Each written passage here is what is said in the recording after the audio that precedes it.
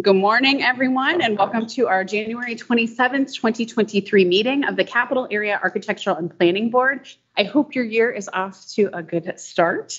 Um, this is our second hybrid meeting of the board following, um, and I welcome all of you who have joined us here at the Capitol and online to our virtual audience here. Members of the public uh, can view this meeting via a live stream on the board's YouTube channel. Um, a recording of the meeting will remain available there after the meeting. As we begin, I want to uh, welcome Hannah Hills to her first meeting as a member of the board. As we previewed last meeting, uh, Ms. Hills has been appointed by Mayor Carter, and since the last meeting has been confirmed by the St. Paul City Council, um, uh, Hannah also has uh, her sidekick along with her uh, today, Harrison, and we're very excited um, that there is a baby in the CAP board meeting. Um, they are always welcome.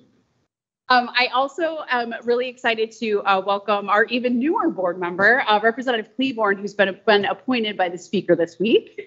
Um, so thank you so much. We're so excited to have you. Um, we're also still awaiting the appointment of the of uh, the legislative members. Senator Pappas and Nelson are uh, unable to join us today, although Senator Pappas may be able to participate a little bit online. Um, we will see. I know uh, the Senate is quite busy today. Um, Uh, but we are still, um, we are also continuing along um, with Representative Freiberg until a formal appointment uh, can be made by House and Senate leaders. Uh, we will dive into introductions here to establish quorum. And since we have some new members, as I call the roll, uh, each of you can please briefly introduce yourself and a fun icebreaker uh, to share. Um, nobody, there's no trust falls, there's no human pretzels, nothing like that. Um, we are just going to do um, your favorite memory from a frozen lake. I love good job. of that moment.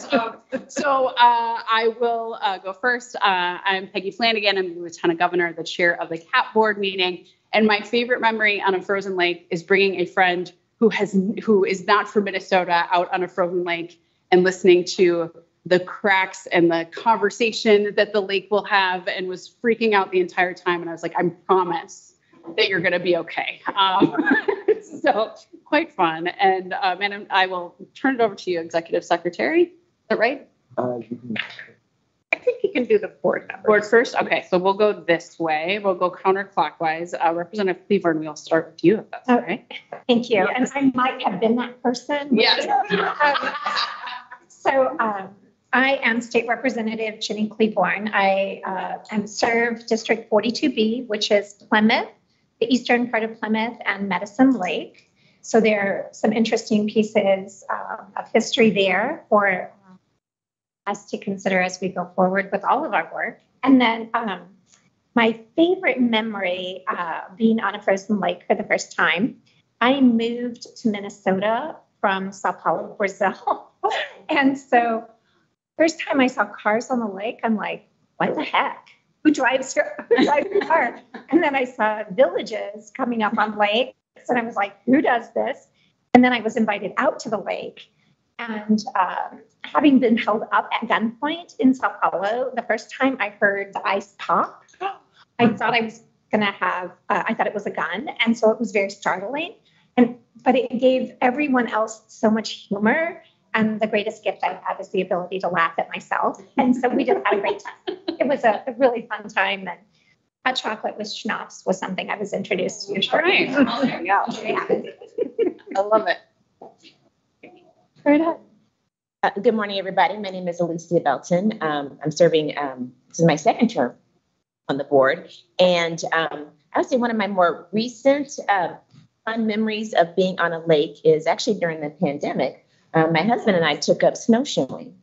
And so we um, we're urban snowshoers, so haven't done any like deep parks or anything like that, but on Lake of the Isles. So um, just uh, it's fun to be able to get closer to that little island in the middle, and yeah, so that was uh, kind of a, a, fun thing for us to do. We thought our kids would like to join us, and they did not, and so that became afternoon outings uh, during the pandemic. Yeah. Wonderful, that's a great. Hannah Hills, um, community member from the Capitol Heights Block Club. So very nice to see all of you. Um, I do have to leave a little early today to speak. Okay. Um, and when you said Frozen Lake, the first memory that popped in my head was shortly after moving back from college and then spending a year in Spain. I was at my mom's house and she lives across from two lakes. And I woke up one morning like, I'm just going to go for a walk because I had been in California and Spain without any frozen lakes. so it was just a really beautiful morning with the sunrise. And that's the first thing I thought of. Perfect. Wonderful. Hey, good morning, James McLean, um, board member, for I don't recall how long, because time flies when you're having fun. But, uh, let's see, I'm, I- I've been, I'm searching my memory banks for, uh, a positive, um, frozen Leinster, I cannot find them. I love our lakes in Minnesota, but I enjoy them as much as I can up until the fall, and then I stay. Summer, uh, And the only thing that came to mind is like my, my alley, which feels like a frozen lake sometimes. Uh, It's covered in. That's fair. Just about- I've stuck in a couple times, so that wasn't the draw. That wasn't- no, we're, uh, actually, But, uh, that's what I think of in frozen lake. I think that's the best for Feels like I'm on a lake. We'll take it. Ms. Badger. Oh, okay. I'm Dana Badgerow. I'm a public member. I'm in my first term, former Commissioner of Administration twice on the Capital Restoration Board. I've avoided frozen lakes like the plague. Fair. Mm-hmm, mm-hmm. Okay, excellent. Um, and Dr. Bean, are, can you introduce yourself? I can. Good morning, everyone. Dr. Kate Bean here. I'm the Executive Director of the Minnesota Museum of American Art. Um, thought I would be able to join you in person, but professional development day at my kids' school hit. Knowledge of that hit just yesterday because I don't read calendars apparently. So my apologies for not being there in person. Um, my favorite memory of a frozen lake, uh, I would I would say my family. We have a deep, long, um, and very beloved history at Bde Maka Ska. And I think the first time that I took my daughters out to write messages in the middle of frozen Bde Maka Ska and the look on their faces that they could do that and, and do that at home was absolutely wonderful. And I, I just, it's, a- it's a great memory that I have. It's beautiful. Thank you so much, Dr. Bean. Uh, Mr. Yang. Good morning, folks. Daniel Yang with Mayor Melvin Carter's office. Uh, I think my favorite memory is growing up, uh, going up to Mille Lacs and ice fishing with my grandpa. Um, not catching a whole lot of fish, but spending a lot of quality time with him up there. Awesome. It's not really about the fish. Um, okay. And I think we're good on quorum. Yeah, and now we'll have staff introduce yourselves. So go ahead, Merritt. Barrett Clapsmith. I'm Executive Secretary of the CAP Board. Happy to see you all and to have some new members at the table. Hello, Peter Musty. I'm a principal planner and zoning administrator for the CAP Board. I do have to mention uh, Frozen Lakes Hockey Day Minnesota is uh, this week. So, and I'm, I'm a hockey coach and uh, looking forward to celebrating with the rest of Minnesota. Wonderful. Okay. Good morning. I'm Laura Dotson. I'm the part-time office assistant here at the CAP board. Good to see you, Laura. Yep, And Danita, go ahead and introduce hello. yourself, please.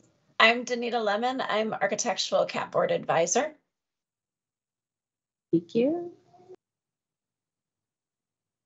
Hello, Michael Bjornberg, uh, architectural advisor. in the Capital Zone. Hey, okay. Um, so a quorum is uh, present, and first we will discuss the election of board officers. It has been the recent practice of the board to select a smaller executive committee uh, that staff can consult with in between meetings on operational issues.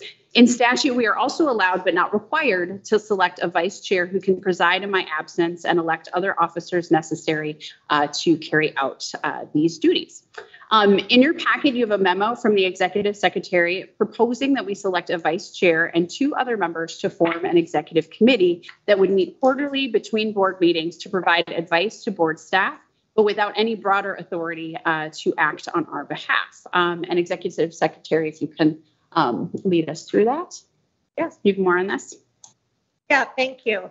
Um, I have been on a number of boards myself, and I have always found it um, really helpful. Uh, the role that the executive committee plays on the board, um, helping to work with staff, just talking through some of the operational issues, things coming up to the board, making sure we're anticipating getting information that the board members need, uh, and just kind of being a more regular conduit of communication between the board and staff. So I, I recommend um, that we go ahead and uh, have you appoint a couple of committee members. Under, under statute, uh, we're only required to have um, the chair, and we can have a vice chair and executive committee, other executive committee members. There's no further definition than that. Um, so I'm wondering, I think, Ms. Badger, you have expressed some interest in uh, being the vice chair. Um, is that still the, still the case? I'm just delighted to do so. I work regularly with Merritt, and I think it'll be fun working with her closely. The only thing I'm intimidated by is the preparing a board policy manual. Staff help with that. I, I'm assuming that that's probably the case. Sorry. Um, are, are there any, is anyone else interested in putting your name into consideration? James? Yeah, I'd be interested in, um, similarly slightly daunting, but awesome staff, so I feel like I don't have anything to worry about, so. Okay. I would be, I would be happy to put my name forward. Great. So we've got uh, Dana and James, you're also, uh, Mr. McLean, you're also interested in being the vice chair. Oh, I'm sorry, not vice chair, sorry. Okay. I didn't re- I was, just. All good. Perfect. Okay. Vice chair, Sorry. All good. All good. So um, just want to check one more time if anyone else is interested in putting uh, their name in for the vice chair. If not, okay, I would uh, entertain a motion to elect uh, Dana Badgerow as our vice chair of the CAP board. So moved. Thank you. Is there a second? Second. Great. Um, we can do, thank you. Um, we can do a roll call here. Uh, with that, I will take the roll. Uh, Ms. Badgerow. Aye. uh, Dr. Bean. Aye. Uh, Ms. Belton. Aye. Uh, Ms. Hills. Aye. Representative Klevorn. Aye. Mr. McLean. Uh, Mr. Yang. Aye. And I vote aye. Um, and you are now the vice chair. Thank you so much. Thank you so much. And thank you. Um, after being uh, in this role for four years and now moving into a second term, I appreciate the assist. so, um, and now we can uh, transition into James. I like how eager you are. Um, I appreciate that. Um, is uh, is anyone else, uh, Mr. McLean is interested in serving um, on the executive committee. Uh, the chair has recommended that there's uh, two additional board members. Um, if anyone else would be interested in serving uh, in that role, um, we would uh, entertain that now. Would anyone else like to put their names forward?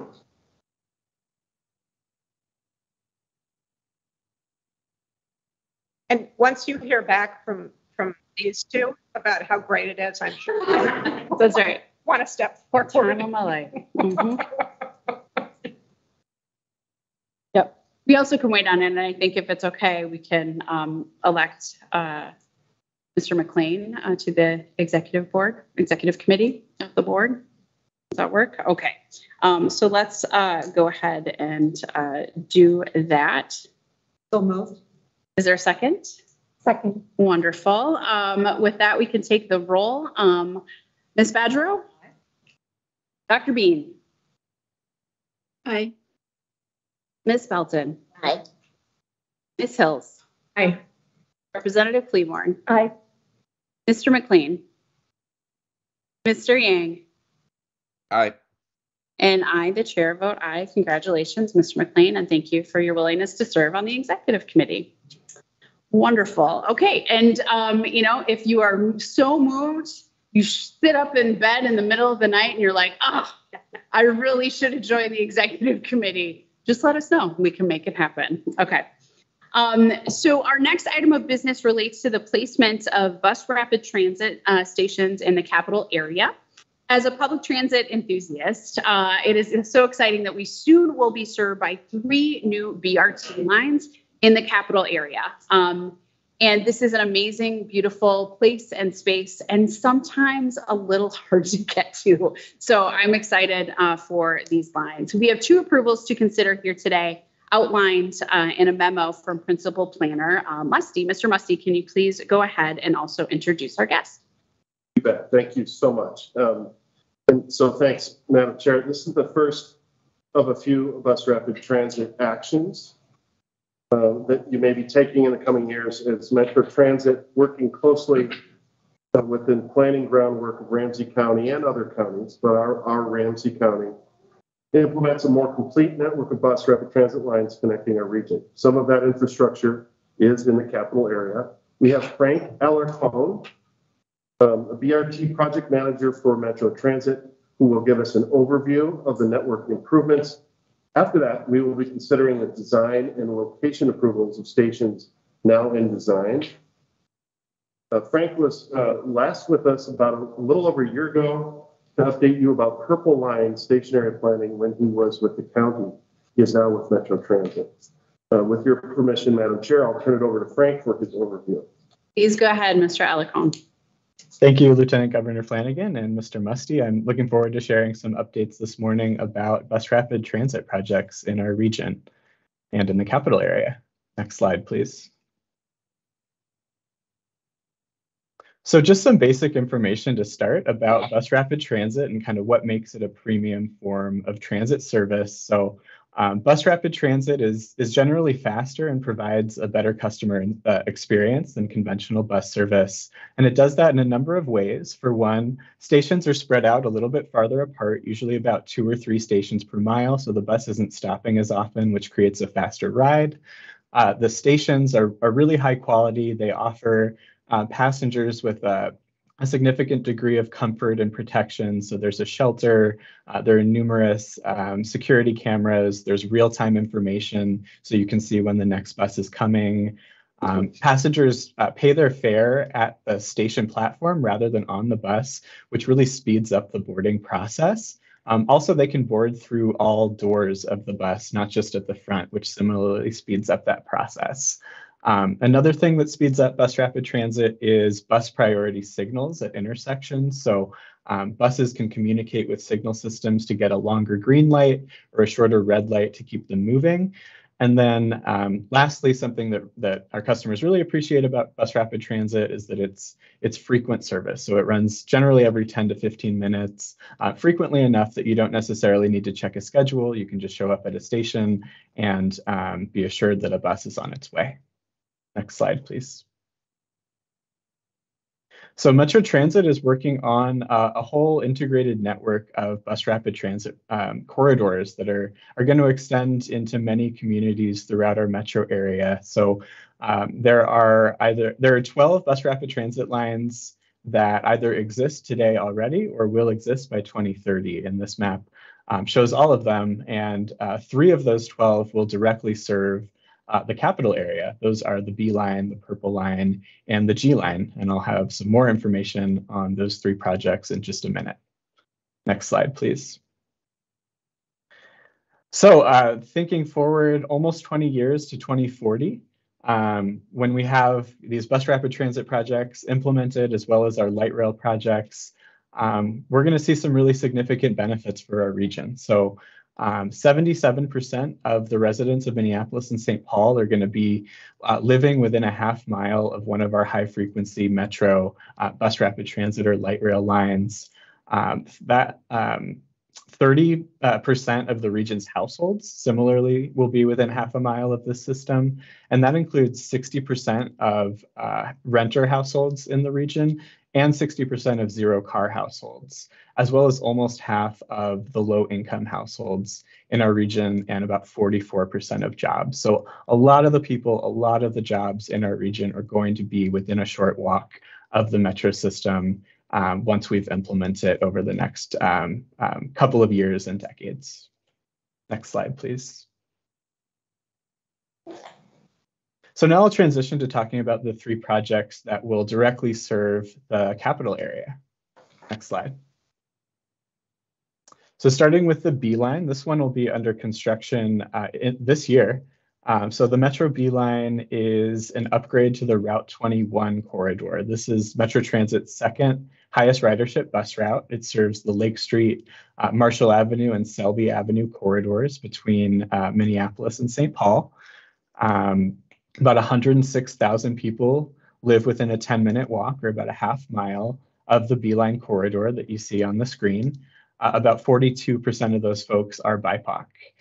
Um, and as I mentioned, uh, construction will be starting this year, uh, extending into 2024, and we're looking to start service on the B line toward the end of 2024. And there will be one station uh, of the B line that's within the, the capital area, and that's the John Ireland and Marshall station. Next slide, please. Here's just a little more um, kind of an aerial view of, of that John, John Ireland and Marshall station. You can see um, both the uh, eastbound and westbound platforms. They're really more situated north-south here um, as the, the line transitions from Selby into downtown Minneapolis. Um, the, these stations provide really great access to St. Paul College, uh, which is a really key destination along the B line. Next slide, please. Uh, this graphic shows the general uh, design of our uh, bus rapid transit on our arterial bus rapid transit system. So the, the arterial lines are the ones that start with letters. Um, so the, the, the B line is one of them.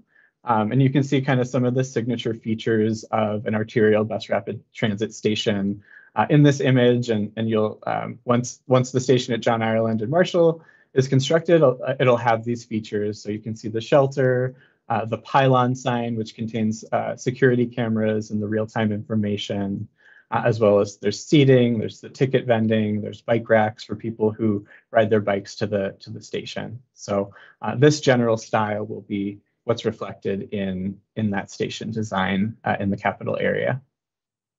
Next slide, please.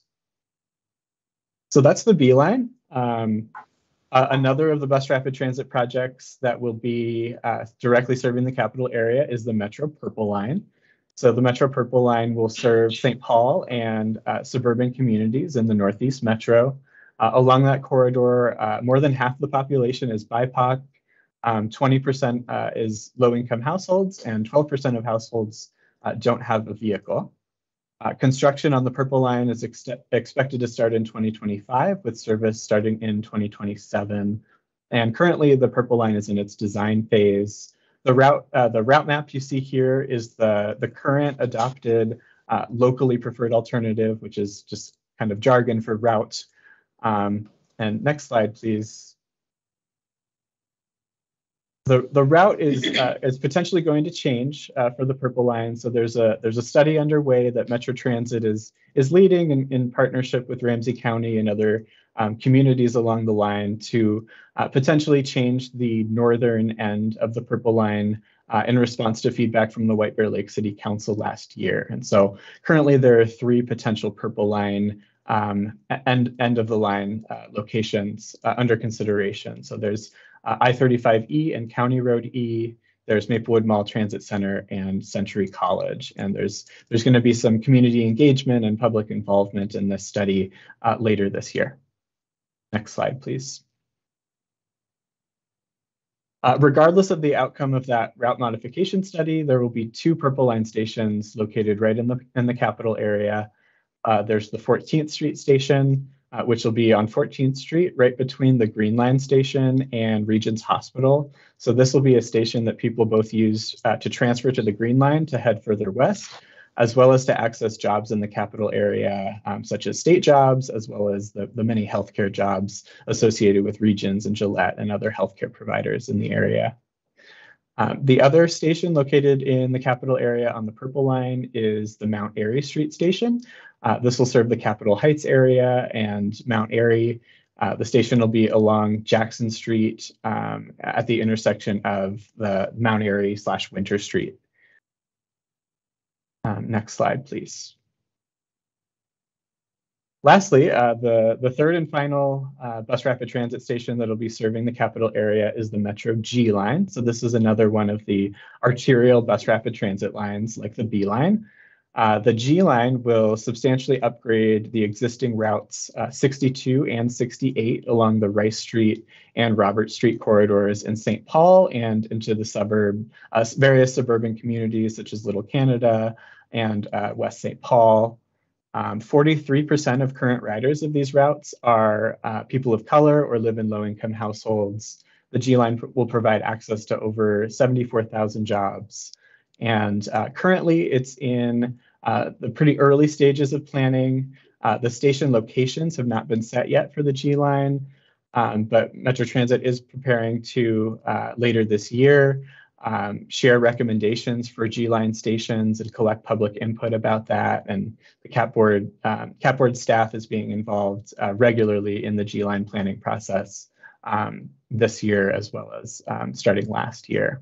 Uh, the G-Line project is also coordinating with other transportation improvements going on in the corridor, such as improvements to Rice Street that are being led by Ramsey County and improvements to Robert Street that are uh, being led by St. Paul um, and the Minnesota Department of Transportation. So there's a lot of partnerships that happen along these corridors to kind of maximize the benefits to communities along them. Next slide, please. So that was a lot of information about three different projects. So I'll just take a pause here and um, see if there are any questions before I hand it back to Mr. Musty. Go ahead, uh, Representative Klevorn. Uh, thank you. Um, I was looking at figure five and six in our packet, which is on page five of nine. My question, I understand that these markers on the picture may not be where the actual station will occur, but on the parking lot side of that picture, I thought to myself, uh, I understand traffic flow and not wanting to block the intersection or anything like that. But I was wondering if that uh, transit station on the parking lot side could be as close to the hospital as possible so that anyone who would be in need of those services would have the least walk possible going there. I understand the tree line side could be more difficult because of the direction of the traffic flow, but um, is there a, just a standard that that has to be placed from the intersection? Um, thanks for the question. Thanks for the question, um, Representative. So um, it, the, the placement of that station was uh, definitely something we looked at closely. Um, it is it landed where it is for a number of reasons. We wanted it to be accessible both to the Green Line station and the hospital. Um, and, and we do find that it's within a good, uh, a short distance of both in this location. Um, to put it any closer to the intersection at Jackson could potentially cause some challenges uh, making the left turn onto Jackson to continue on its way um, up uh, north along Jackson and into um, the Capitol Heights area and then further into the east side of St. Paul. Thank uh, you. Thank you. Any other questions? Mr. McLean. Um, just uh, and thanks for that question. I I'm not on the CAP board representing Health Partners, but in my day job, I, I work for Health Partners and, and Regions Hospital, and uh, appreciate that question and, and kind of the work that is in thought that is done, and because um, there's certainly a lot of both employees and patients that would use that to access uh, care at Regions Hospital and uh, actually a lot of the healthcare facilities um, along that line. So. Um, really appreciate that the thoughtfulness in that question. Um, but my my question is, I mean, I, I realize this was an update on BRT lines. And I'm just curious, because um, I've heard some about a, let's see, uh, Riverview corridor or, or, a streetcar that will go from um, kind of downtown and then south eventually to Bloomington. I'm just curious if that, um, just the timing of that um, project, is that something that would that um, would come before the cap board? I can't, I don't know exactly how close to the capital that line would be. Just curious any comments on that and, and timing, how that fits into this broader picture of, of transit lines. Mr. Yeah, think, go ahead. Yes, thank you, Lieutenant Governor Flanagan and Mr. McLean. Um, if we could go back a few slides to the um, to the 2040 Metro Network map, that would be helpful. Thank you. Uh, one, uh, yes, the, the one with all the green. Uh, so yeah, you can see the Riverview corridor on this on this map along along West Seventh Street, and so that project is currently being led by Ramsey County. It's uh, in kind of a preliminary design phase. So it, it is part of our uh, 2040 network, meaning we we do expect that that project to be implemented by 2040. Um, likely not by 2030. There's still a lot of design work um, and, and, design issues to resolve um, before that period of time. Um, the the Riverview corridor doesn't uh, extend, doesn't cross the, the the boundary quite into the capital area. It'll um, transition from West Seventh Street uh, onto Fifth and Sixth Street in downtown, just south of the capital area. Um, but nonetheless, it, it will connect to um, all of the lines that that I talked about earlier, the B line, the, the purple line, and the G line. So um, the, the corridors will will work together as a system. Great, thank you. Any other questions? Okay, um, for me, yeah, hand it back to Peter. Mr. Musty. Thank you, Madam Chair, and thank you, Frank, for the overview. Um, and hang on, we might need you. Um, I'll express appreciation um, also to your larger teams. Uh, B line, uh, I know you're representing several lines here. B line, the G line, and the purple line for continuing to include us in the technical advisory meetings, and then for submitting the design information necessary to review the proposed design and locations we are considering today. As you've read in your memo, the CAP board must approve transit stations for both design and location. Here in the case of John Ireland uh, on the B line and Martin, John Ireland Marshall Station, a well-used bus shelter is already in place St. Paul College, a cathedral, of course, um, and some apartments across the street, leading you to Summit here on John Ireland. So in this case, we all, what, all, all we must approve, since there is a bus station here now already located, is the design of the upgraded station. Uh, as explained by Frank, the station design being proposed for John Ireland Marshall is the standard station design found throughout the region for arterial BRT stops. This is a built example at Penn and 43rd in Minneapolis. The typical features of arterial BRT stations include several features that increase comfort, security, access, and an interactive screen embedded in the familiar Metro Transit beacon. Um, I have a very similar station in my neighborhood. The heat lamp and the shelter is my favorite feature. As many of you know, the curbs are often a bit higher to allow easier access for everyone, especially those on wheels. The pay stations allow you to take care of transactions ahead of time, like on LRT trains. And so at this time, Madam Chair, it would be a good time to offer any remaining questions before entertaining suggested. Any additional questions for Mr. Musty or for Mr. Alarcon? Okay. I Oh, said, go ahead, yes. like over, big overview question. Um, with the, the past few years on the green line, um, having issues with people experiencing homelessness, um, and people, um, yeah, using, almost using it like a, like a shelter.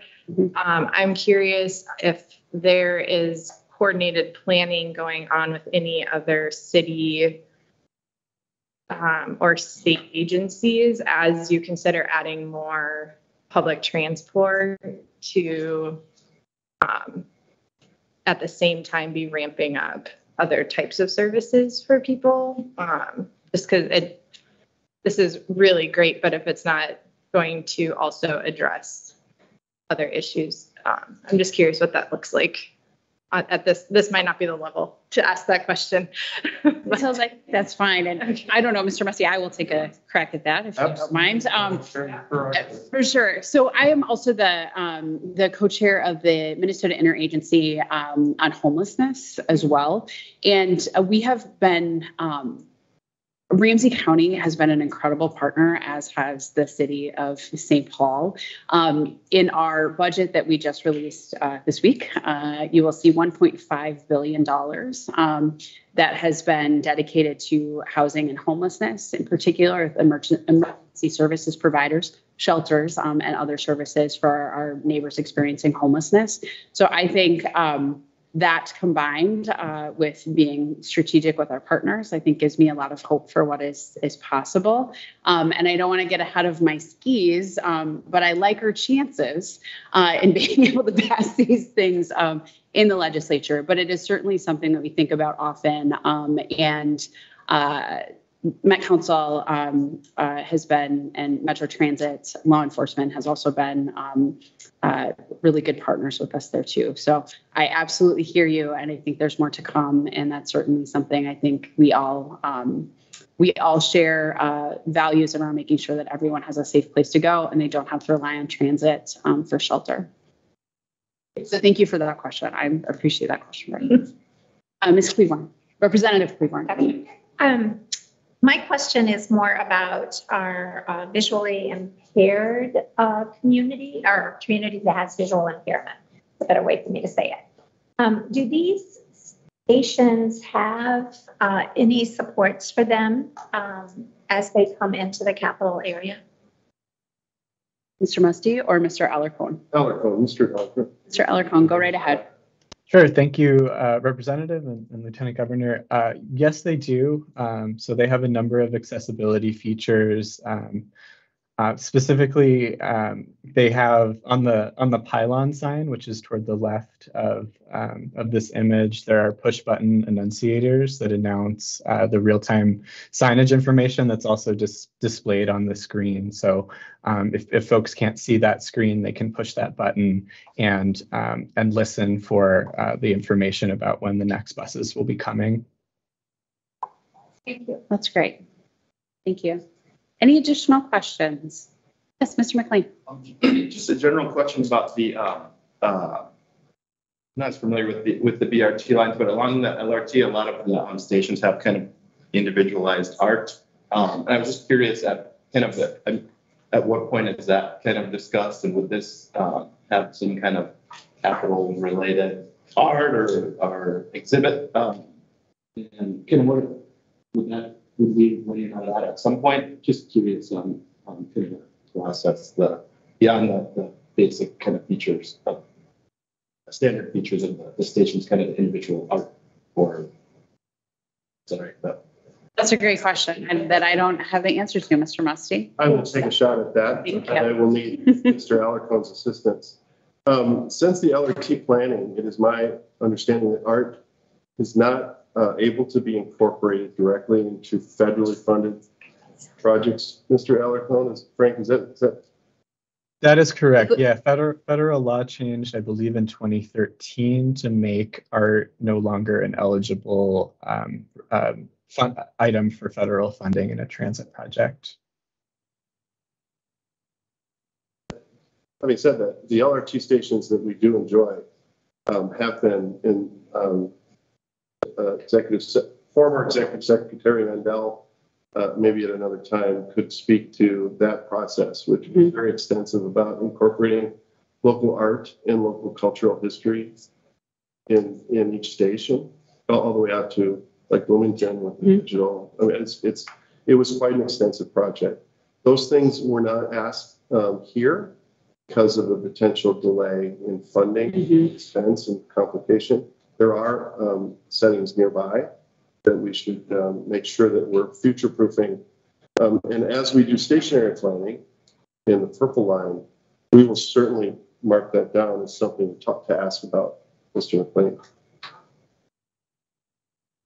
Yes. Secretary, go ahead. Thank you. I, I was just wondering if you have a federally funded station, but somebody wants to contribute money to add some sort of artistic element to it. Is that possible, or are they essentially prohibited from having public art? Mr. Alarcon, can you address that? Yes, thank you for that question. My understanding is that if other funding sources are identified, that does potentially make it possible to incorporate artistic elements either into the station itself or you know directly adjacent to a station. Representative Klevorn, and then I'm going to move us right along here. to that point, you know, on page seven, it, gives us a little bit of Q and A about Mhm. these pieces. but I was thinking about it in terms of the comprehensive plan, right? So in this particular area, part of that capital plan says that we must be thinking about the grandeur Mhm. of the setting that we're in. And so I was thinking if we can't have art, to Mr. Musty's point earlier, we need to think about the timeline to allow the um, station itself to be the art Mhm. and then work that into the budgeting process as we go forward. And, um, you know, I realize that it's a bus station, but it can be beautiful. It can be a beautiful bus station as well for the people to enjoy if it's to be the people's front yard, Mhm. right? Mr. Musty. I'm just going to would state that we have that opportunity now looking forward to purple line planning, station area, which includes station area planning as a gateway corridor. And then um, also with the station location process happening here on uh, G line, which are, you know, corridors that are very important. Jackson and Rice Street are very important. uh, uh, That the comp plan is addressed and we've given a lot of thought to. So I think it'd be very appropriate talk about that and bring that into station area plan. Thank you. Ms. Badgerow, did you have a question? I didn't. No, Okay, sorry, okay. I was Ready to make a motion. Wonderful. We- Are there any more questions? I think it's great discussion and an opportunity for us as things are rolling forward, if that's what we decide to do today.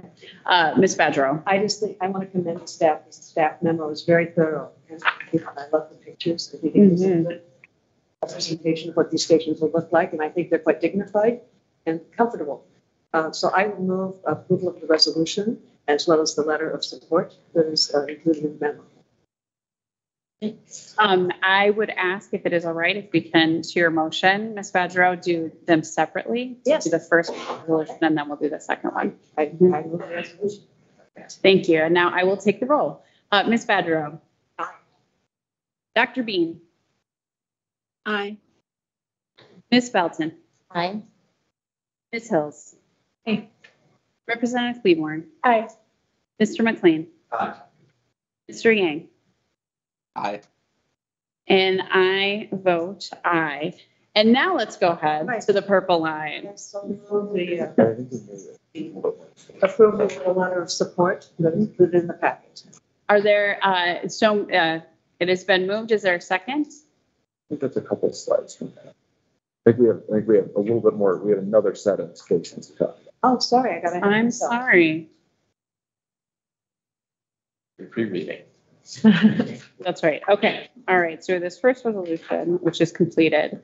Um, And then Peter yeah, so P, uh, Peter, there's a second, uh, draft resolution you put on screen. Absolutely. Thank you. Go right ahead. Okay, um, there's a couple slides explaining the second approval, which is, uh, loca- station locations on the purple line over on Jackson. So thank you, Madam Chair. Now we're, we're, the tension on two station locations over on the purple line runs from Robert downtown up into the east campus, turning in front of 14th Street ramp, and then northward up Jackson through St. Paul to the south north, eventually ending in White Bear Lake, as Frank mentioned earlier. There have been two technical analyses completed by the county and then more recently by Metro Transit engineers. Both rounds concluded with identification of the location shown, which is centered between the job centers in the Capitol Co- Complex and regions, while still being around the corner from the LRT station. The location closer to Jackson allows for minimal disruption to entries to the parking facility, specifically located away from the entry to 14th Street ramp. Here you see the proposed station location on 14th Street. The photo is taken very close to where entries are located to the ramp on the left and surface lots W and U to the right. Some land may be taken from state lot W, but the amount is yet to be determined. This has been reviewed and okayed so far by the Department of Administration through Cap, although Cap Board staff is working to ensure that administration is consulted closely by Purple Line engineers as we go. Location of the station simply signals uh, that Cap Board supports the location chosen. Board consideration of the detailed station design is still ahead and will follow further rounds of station design. It also will come after station area planning is underway or has been completed for the area around it. Please note that this is an approval of a location only and allows the planners to move ahead with station design. Okay, And with that, uh, oh, go ahead. The second station, Mhm. location, in the capital area proposed for the Metro Purple Line is northward on Jackson at Mount Airy in winter. This will serve the housing at the Mount Airy neighborhood, the Capitol Heights neighborhood, and the capital area, and the new hospital. The station locations are both north of the intersection. Rule of thumb for station designers is that the far side locations are in general preferable to avoid getting caught at red lights. In this case, the southbound station was moved north, to the near side of the intersection, due to the inaccessible slopes as you move south, which often makes the grading difficult and expensive for those platforms at the stations. The exact design of the station here will be a subject of interagency collaboration as the city will reconcile long-range goals for Jackson with the needs for station design at the intersection. Cap Board is hopeful the station area planning will allow us to address planning issues in the neighborhood that are due. That Sheriff Flanagan, any questions on station locations before we move to the resolution? Ms. Belton. Question. So um, I'm assuming that neighborhood engagement was already done in citing these two in this community from Mount Airy and Jackson. Mr. Musty. Um, station area planning Yep. and station engagement is ahead. Oh, The idea is that we will um, look at the location on a technical level and, and approve that. But the refinement of the station design is ahead while engagement will happen. So it's an iterative with station area planning. Any additional questions? Okay. May I now renew my motion? Yes, Ms. Badgerow. Sorry, I. Do. Thank you. Is there a second? Second. Being moved and seconded, uh, I will now take the roll. Ms. Badgerow? Ms., uh, Dr. Bean? Aye. Ms. Belton? Aye. Ms. Hills? Aye. Representative Klevorn? Aye. Mr. McLean? Aye. Mr. Yang? Aye. And I, as the chair, vote aye. Thank you. It passes. In your packet, there's a proposed uh, statement of support for federal grants the city of St. Paul is submitting uh, to update uh, Jackson Street. Mr. Musty, can you please provide just a little bit of context for us for this letter? Thank you. Yep, letters of support for projects seeking federal funding, such as RAISE grants, can often make the difference in an application scoring higher. The following statement of support for BRT planning by the board will be helpful to our interagency partners, such as the city of St. Paul, in seeking support for resources related to street improvements in locations where BRT stations are proposed. The opportunity directly ahead is that BRT improvements at those intersections can be designed more holistically within a vision for a larger repair or improvement to Jackson specifically.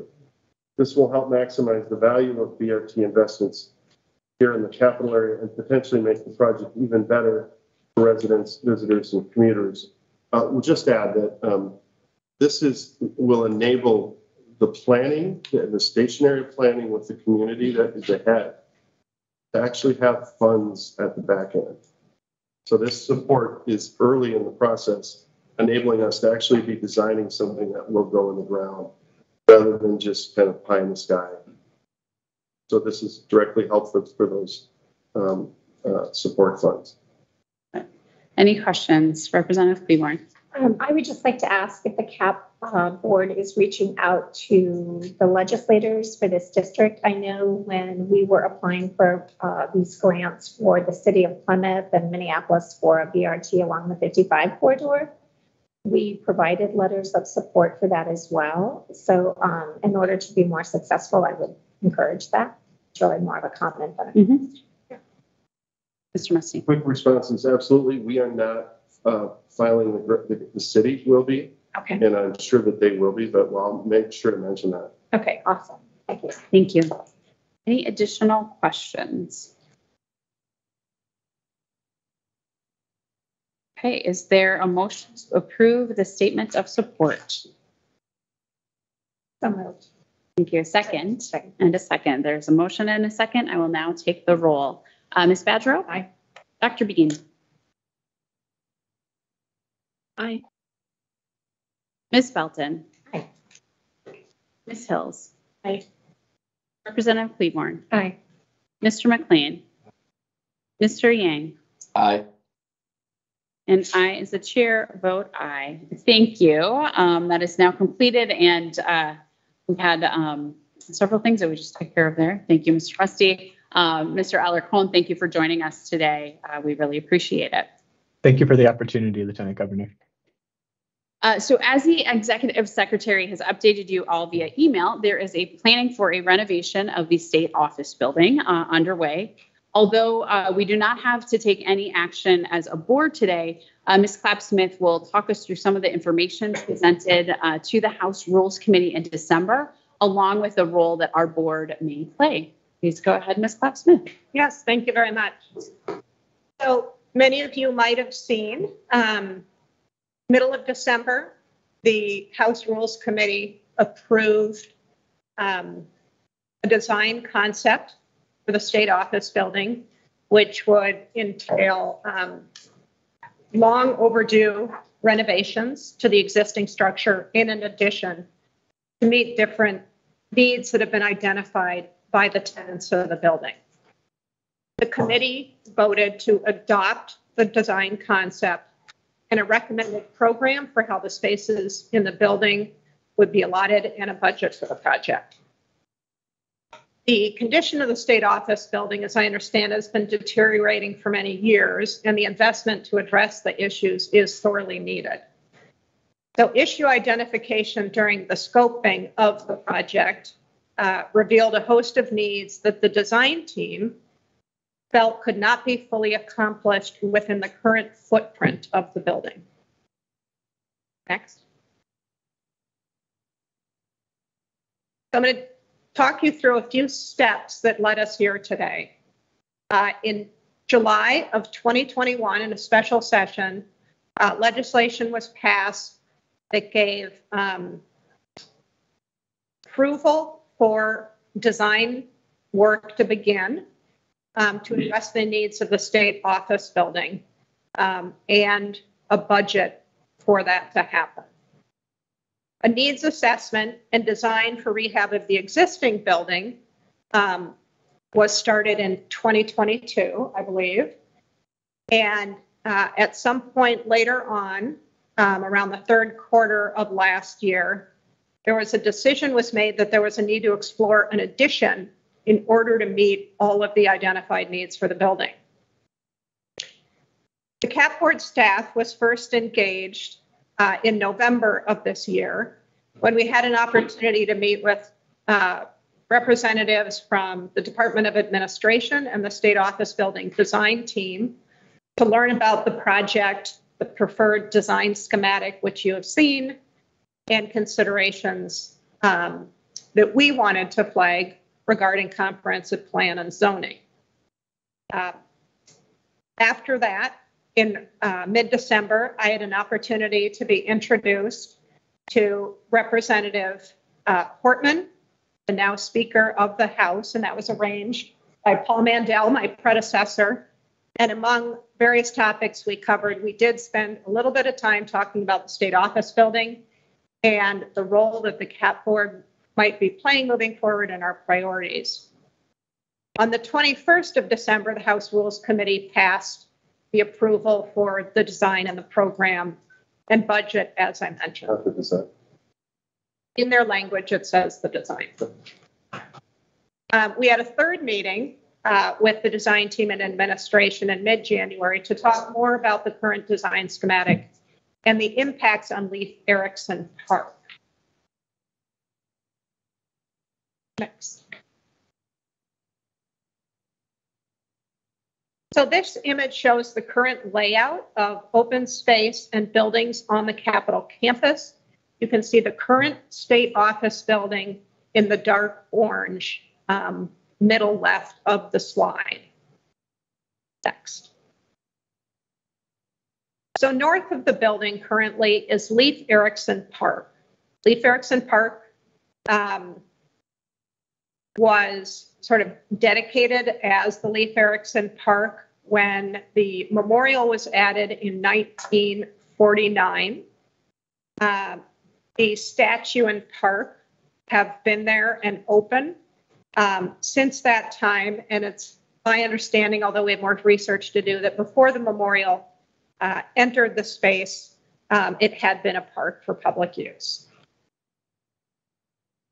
Next. Oh, that's the opening ceremony when uh, the memorial was added.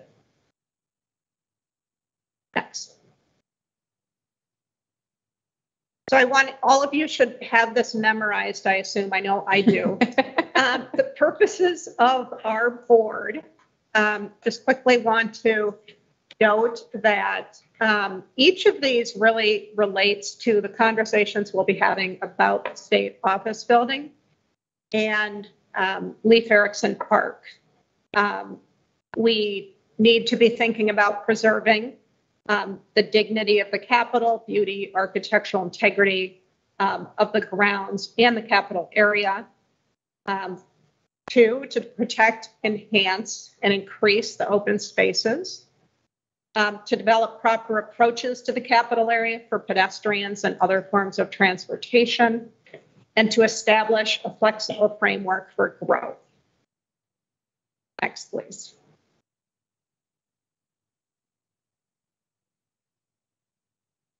Oh, good, that's not on my computer. Excuse me, folks, I'm- I'm- I have a technical glitch. Mm-hmm. I need a minute to fix this. Here, Peter, I Great. can, I can take over the slides. if you- Thank you.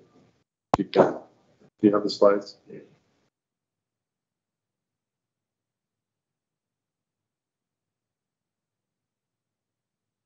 My computer is telling me it's going to restart.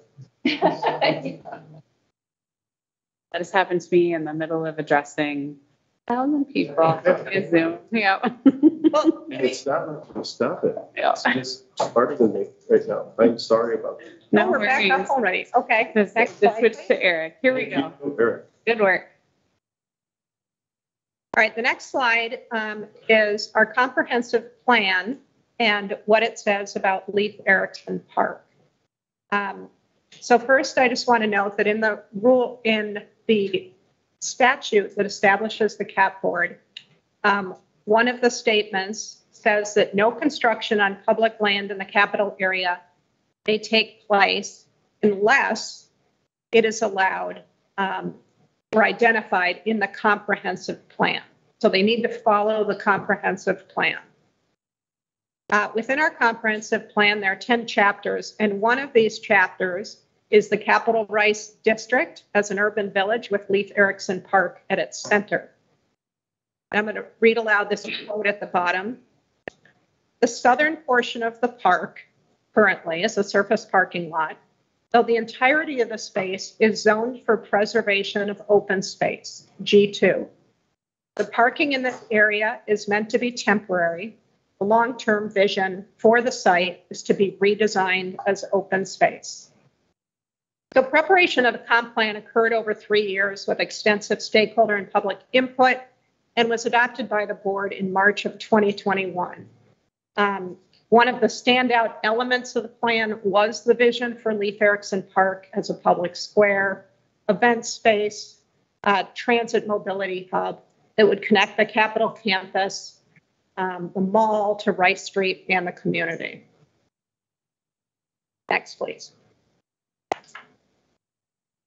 I just want to note that when the comprehensive plan was being prepared, um, nobody was contemplating that there might be a future proposal to expand the state office building. Um, so it was presumed that Leif Erikson Park um, would be remaining and that it would be expanded with uh, the removal of the surface parking lot. The great news about the comprehensive plan is that there are many policies in it that state office building project can help us implement, um, no matter where the exact location is, um, if there is an addition. And staff and our advisors are already preparing a list of all of the complementary project elements. In this, you will see um, the image on the left is the current comprehensive plan vision for the future Leif Erikson Park being expanded into the surface parking lot. So you really end up there with a public square um, that is bordered by the Capitol steps and the Capitol, the state office building, Rice Street and a redeveloped Sears site to the west and to the north, the Senate um, building and other properties. Today, the mall and Leif Erikson Park are two outdoor spaces on the campus that people can book for events. Between 2018 and 2022, 40 events were booked in Leif Erikson Park. Most common were rallies, followed by prayers and marches. Uh, but special note in 2022, it was twice reserved for croquet matches. Really? yes. Fun. That was during COVID. People were very. Say the mall lawn would have been better for that? Yeah, putting that out there. Excellent point. We'll consider that in the future. Um, It is not yet clear whether the state office building project at this point um, would propose to change the function of the open space around it. Um, Would it remain a rentable event space or would it remain open to the public? So on the right, you can see um, the proposed state office building addition um, that currently has been put forward and the green space that would be around it. Again, we do not yet know um, what the plans for that green space would be, but the CAP board um, certainly are eager to engage uh, with the design team and others in this conversation. Next, please. Uh, in addition to our comp plan, um, we have zoning. The zoning is in the comp plan. It says what land uses can occur in different parts of our 60 block capital area. Um, outlined in red, although it's a little hard to see, is a green square, and that is the current Leif Erikson Park um, and the surface parking lot. So this is zoned G2, uh, and the G2 in our rules allow open space, surface parking lots, and underground structures, but they do not permit buildings. Because um, our zoning districts and the uses allowed are designated in our rules chapter, a zoning change that would enable a building to extend into this space um, would have to go through a rulemaking process. I'll also note that the city of St. Paul cannot legally issue a building permit for projects in the capital area unless the planned land use is allowed under our zoning. Next. All right, what are we, what are we looking at for next steps?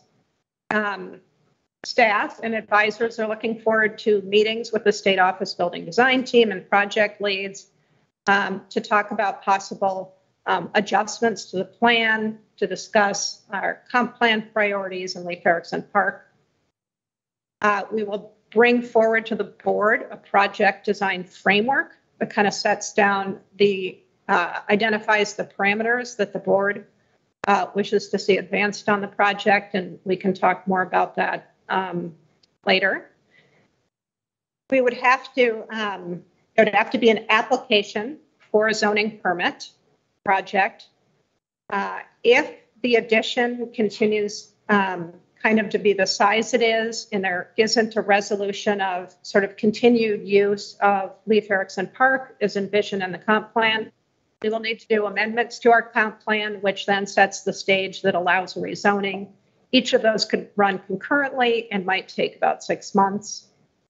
Um, then we would have design, zoning and design approvals um, in front of this board, say in the summer. Then the city of St. Paul would do site plan review. We would issue a certificate of design compliance and construction would begin.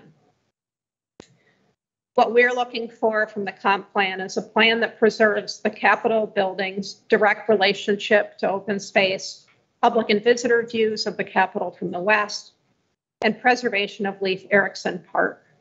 Um, and considering the legacy of how it has been used in the past and how it will in the future.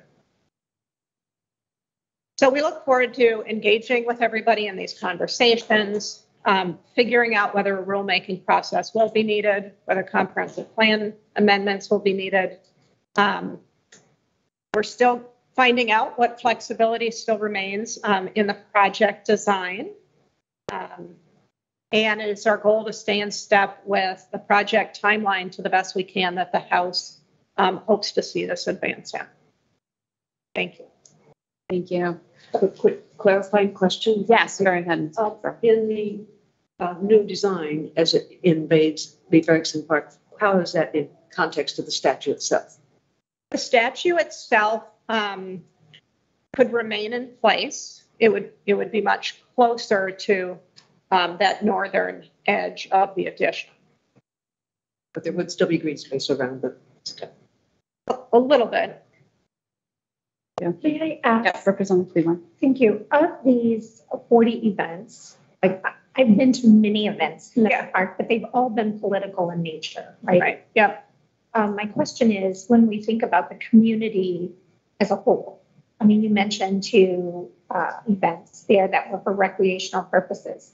Do we know the breakdown between, I mean, benches, I believe, have been removed from this park even, right? So the question is, can we, if this expansion goes forward, can we create in the Capitol Mall complex a truly inviting space for the public to use? I mean, I was only half joking a moment ago when I said the Capitol lawn would be better for croquet than Yeah. Leif Erikson Park. I mean, so um, the question is if it's not that I can understand the concern about eliminating the park for the expansion of the building, but could we create a more inviting space with other lands that are in the mall complex?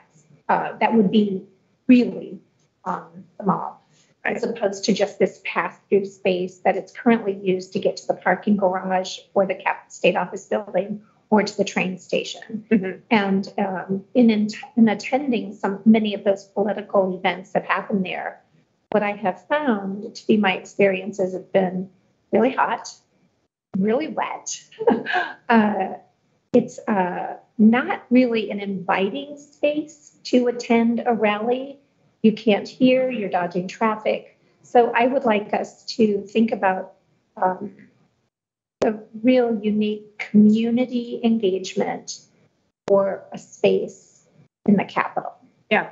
That's what. Yeah, a- absolutely. Thank you for those points. Um, First, I'd say that we're, we're hoping um, that we will be able to engage in updating our 32-year-old um, Capitol Mall uh, design framework, which sets out kind of all the, all the goals and objectives for design and use of the Capitol Mall and adjacent spaces that will undertake that in the next year.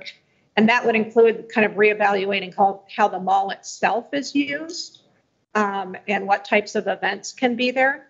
Um, that would also include looking at the Leif Erikson Park space. Um, but the question you raise is exactly the kind of conversations we're hoping to start having uh, with the design team um, and other people.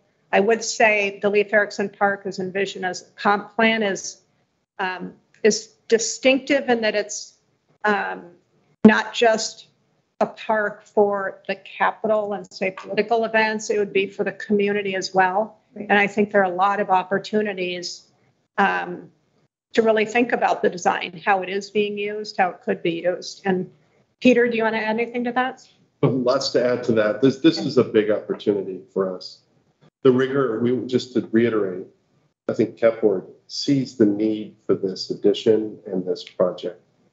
The footprint uh, and the rigor of that, I think what we see is that the equal amount of rigor should be put into that public space, into an address of the comp plan and those needs, what the overall intent is and need for uh, gathering is on the outside of the building, which I think was next anyway with them. That's where we're at. And we definitely would, I think that's a huge opportunity to make sure we get this right.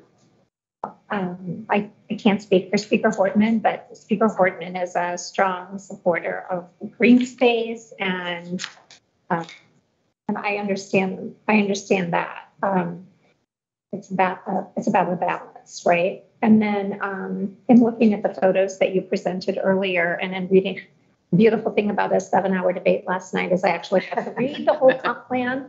So while I'm very new, um, that, I think the speaker, and again, I'm not speaking for her, but in my conversations with her about this appointment, um, her in, envisionment, I believe, of the new wing for the state office building is for that wing to truly be a public space.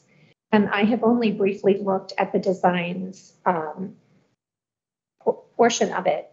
And the uh, inclusion of rooms that open to the Capitol to do just that, to make sure that the the importance of the work that is done in that wing, whether it's interacting with democracy at the Secretary of State's office or committee rooms or whatever, is to constantly allow the public to have that space and also to see the Capitol in plain sight so that we are all reminded that anything that happens in demo- that democracy space is about the people's house. It's about the people's government. And even the committee rooms that are designed in that space or for the, uh, the members of the community who are there to be able to see the Capitol as that important work is happening. So I think it's not um, taking away a public space, it's creating a different public space. I, I think that's how I would say it. And then making sure that the green space that we need and we all want is also incorporated somewhere in that design. So And I really appreciate that. I think we're going to have a lot, a lot A lot more more opportunities um, uh, to have a conversation about this. And I think a shared value that all of us have is making sure that the Capitol is accessible, that the state office building is accessible um, as well. And I'm just, I'm eager to have them. I'm also super conscious of time. Um, and no, all good. Yep. And uh, let's let us. Um, you have additional questions or things that you also want to share, just please continue to reach out to uh, Ms. Clapp-Smith um, and anything else that you want to add before we. Yeah, just very quickly. Um, so lots more work to do. Uh, we're hoping to engage with the design team and the project leaders throughout the coming weeks. Um, it may be that we want to call the board back together um, sooner than we normally would to just focus on what we're learning um, and any input or things you're wondering about. Um, also, quick note, the the rules that we have around design of buildings um, are pretty flexible. We have flexibility in materials, we have flexibility in whether it has to be a traditional architectural form or can it be a modern architectural form. So our, you know, our body isn't dictating um, a lot of standards or precision around what precisely it needs to look like. Um, so there is, there's room there from our standpoint in what the design, what the design of the building is. Wonderful. Thank you. Thank you. And I would just say, like, as a, as a note um, for folks that um, as a recovering uh, state representative, um, I would just note, I think one of the, something of great importance uh, is safety for members and the public, and just want to name that as we are thinking through um, this entire, this entire process. So chair's prerogative, I'm gonna make sure that I. Can I just- Yes, go ahead. Yeah, to that point, um, and we don't speak about this often publicly, even though I know this is a public meeting, but there are many of us, uh, myself included, who have received credible death threats. We have evacuation plans of our homes. This is a legislative time unlike any other before. Yep. So it, I thank you, uh, Lieutenant Governor and Chair for bringing that point forward. Excellent. Okay, thank you. Um, so as has been shared with you all, the new administrative rules on commemorative works uh, took effect in November. So exciting. Congratulations. Um, it's, uh, it is like the nerdiest of us and the best of us all in, in one place. And I am so, I'm so happy. So thank you all again for the a tremendous amount of work um, that went into, into this. Um, the development and the approval. Um, really appreciate you. You went above and beyond, um, Executive Secretary, to shepherd these through um, and to really give a process to, you know, where one did not exist uh, previously. And I feel very confident about the um, the the folks uh, whose fingerprints, frankly, was was all over this. It really looked like Minnesota. and was um, wonderful. So um, I'm hoping you can give us. Uh, I'm hoping you can give us just a brief update um, on this process. But you don't, um, not expected to be able to read all this, but this this shows you um, the webpage that we now have around the new commemorative works rules and the application process. Um, so we now have three different application pathways that people can take. They can apply uh, to propose a new work. They can apply to propose modification of an existing work or propose consideration of removing a work. Uh, we have added um, a step before an application would be made where um, potential applicants are strongly encouraged to get in contact with us, what we call early inquiry and consultation, where we really make sure they understand uh, what the process is of application, what their role would be moving through it, um, and that they know how to submit a complete application. So we have had a couple of early inquiry conversations um, about two different items, and we're waiting to see whether applications will move forward. But uh, we're really excited, and if any of you look at this information and think, oh, they, I have a question, they should cover it in the FAQs or whatever, please let us know. It's it's really exciting to have this done and and be able to have it out there. Wonderful. Any questions? There's applause on the screen. Very exciting. Um, excellent. Uh, so 2022 is quite a year for the board, um, and there are a few highlights uh, displayed here. Um, my heart grew three sizes when these little girls saw this the statue of Nellie Stone Johnson. Really powerful, uh, really important day. Um, some of those highlights, of course, are um, are right here in front of us. Um, Executive Secretary, is there anything else that you, um, any reflections that you care? Yeah, yeah. offer? I, I just have two slides here to remind everybody the great stuff that happened this year. So of course, um, Nellie finally joined the Capitol Collection. It was a wonderful event. Uh, we also in the top right um, had the upgrade and modification of the Minnesota Medal of Honor Memorial, and this was a picture of um, the celebration day, uh, which was really something and included flyovers of the Capitol. Uh, in the middle, that's that's text um, from the judge saying that our rules were approved. They're going to close the file, which was really exciting words for me. And then on the bottom right, just a reminder, um, I am always working closely with Brian Pease um, and people from administration on constant maintenance and upgrades of the Capitol building. And these things get down to nuts, bolts, and screws, conversations um, about making sure that every detail um, is really making sure that the Capitol is maintained in a way it should be. Uh, second, we went through the review for um, a planned new mental health facility at the former Bethesda site. And we had in the top right, we've been working with the Capitol Region Watershed District to map um, stormwater movement in the capital area and opportunities to utilize stormwater as an amenity and for irrigation in the future. And that was a big workshop we had with lots of people there. Um, we're always doing permits here. Um, it varies. Peter issues um, fewer permits than he gets inquiries. He probably gets three to four times as many zoning inquiries as he issues permits, but that's that's ongoing. And then finally, just thank you to our staff, um, and Peter, who worked really hard. We had a brief strategic planning retreat for the next year um, that really helped us focus how we were going to do our work. So I want to say thank you to the board for all of your hard work and support. I hope you feel proud of your contributions. Um, and we have an even more exciting year ahead. Very exciting. Um, thank you. Any reflections from board members? Amazing work.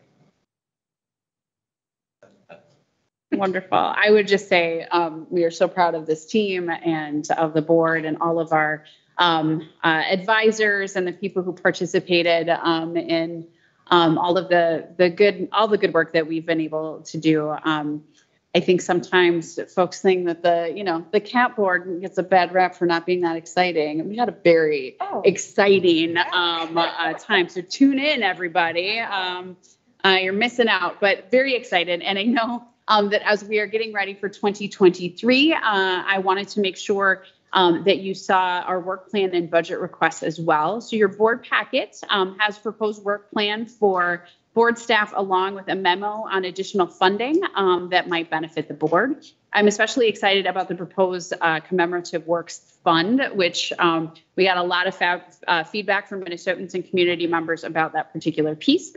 Um, Ms. Clapp-Smith, can you provide an overview? Yes, thank you. Uh, Our fiscal year runs from July to June, so we are currently halfway through our 23 fiscal year. So the budget we have for this year is $365,000. You can see here how that is distributed across the expenses of our organization.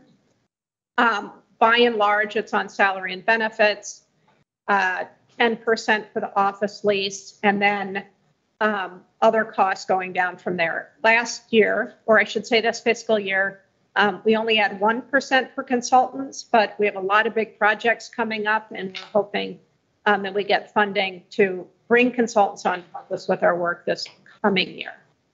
Next.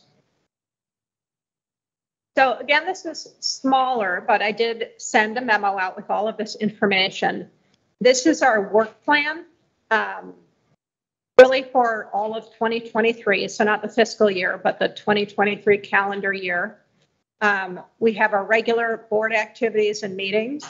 Um, you can see where any line has kind of lines within the bar. That shows things that are just ongoing activities, and then solid filled or, or um, time limited projects.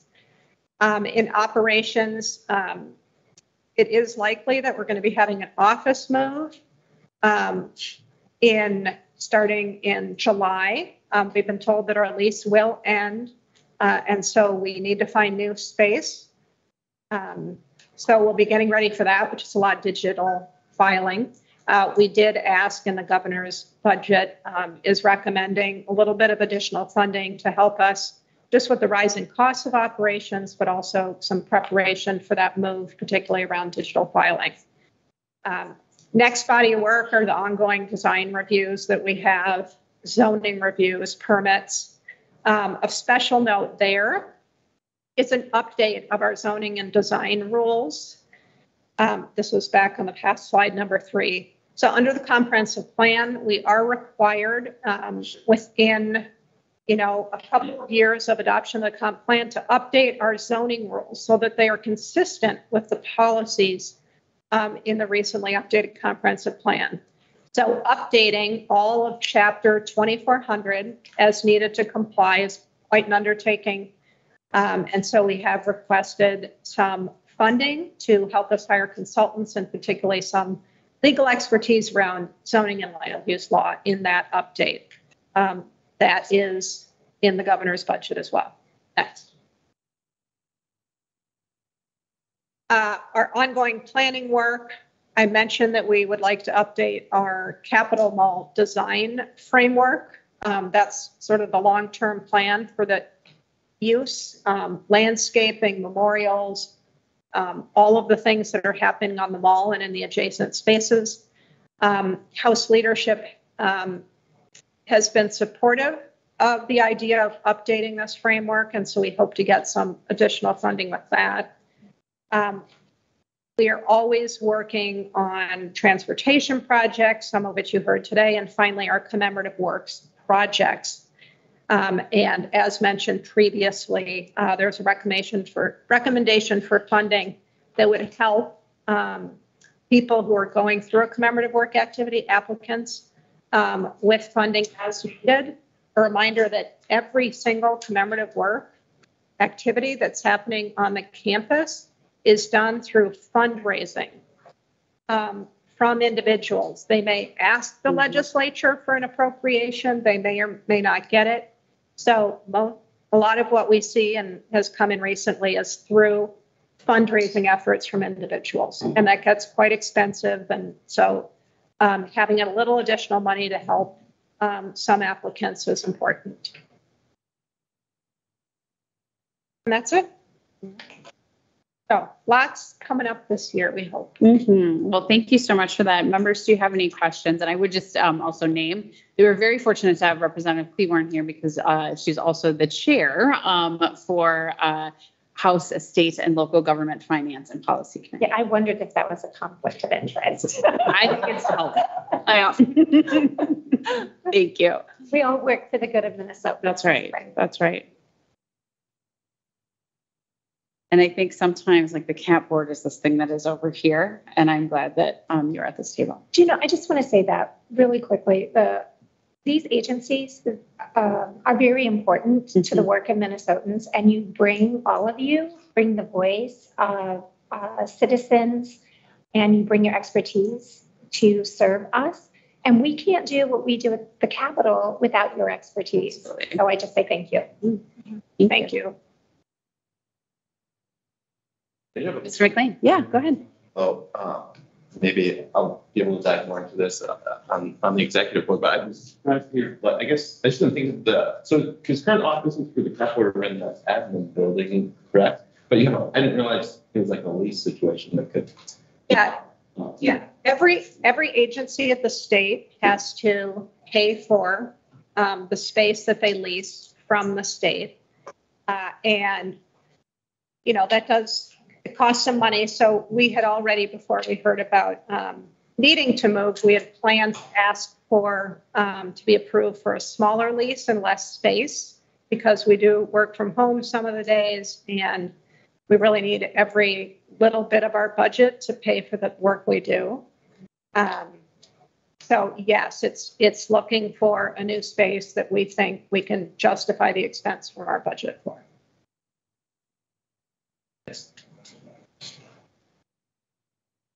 Well, here's to 2023. Um, let's uh, continue to move forward. Mr. Musty has provided a memo on a conditional use permit to allow for rooftop solar installation at St. Paul City School. Um, Mr. Musty, if you could explain it to us briefly. Yes, slide, could you advance this slide? Um, actually, there is one slide with the photo of the rooftop array. It may be the next slide. Sorry, Eric. There we go. Thank you. This is pretty straightforward. Um, in, in our rules, we require conditional use permit for installation of solar PV equipment. It's in case it's placed in an inopportune or visible site where we would prefer it not to be. In this case, this is similar, uh, installation is on top of the new gymnasium. Um, by the way, the school has opened in the fall. It's very exciting to have that sound in, in back in the capital area to have a school open a block from the campus. And um, it's really transformed the corner of Marion and the university. Um, and with all of the paperwork they have for actually running first year in that school, um, they missed the idea that it could be something we'd want to approve. And so, yes, it's a paperwork item to approve a solar array. Uh, it is a very similar uh, to what the state has set precedent for on their buildings, which is a low profile ballasted system. It's removable, but it is there to serve to give power to the school. Um, so it is essentially invisible from the street, and in that manner, it meets our criteria for not impacting. Um, as we've outlined in the memo, um, our analysis is that it is not really impacting negatively neighbors or um, the overall capital area. So what we are proposing and suggest our support is approval of a conditional use permit for solar array. Um, couple points, potential, I, I, do not have the percentage of power that it will generate for the school. Um, but I know tribute is out on top of the new gym. Um, there are views over to the Capitol from, from the school. And, um, like I said, it's invisible to neighboring properties. And we will move to the slide for the resolution. here. Thank you. This is kind of a no-brainer, I think. I'm going to move adoption, the conditional use permit. Is there a second? Second. Uh, any discussion?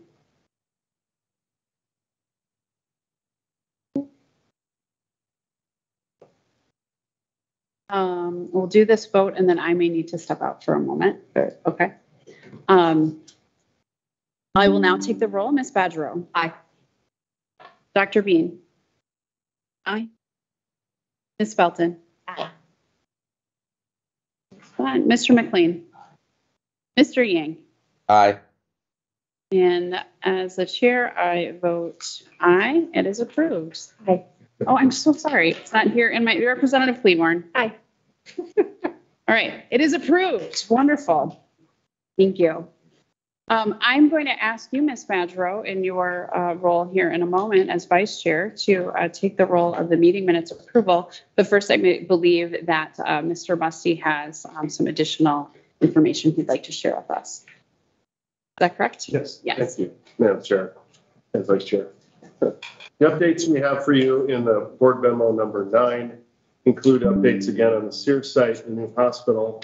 Um, You can read more about the opening of the St. Paul City School uh, last fall and the status update on planning projects such as stormwater study for the BRT and for BRT and for the interstate, rethinking the down, in, in a, the component called the downtown comp, which is for downtown St. Paul rethinking I-94.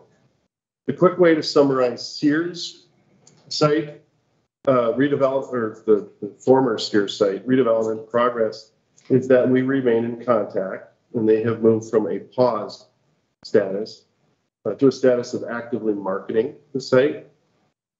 Um, The marketing drawings they've recently posted publicly, um, and they are working with a, a company, local company to, as a broker. Seritage is working with a, a local broker, uh, are included in your memo. And they are online and available to everyone.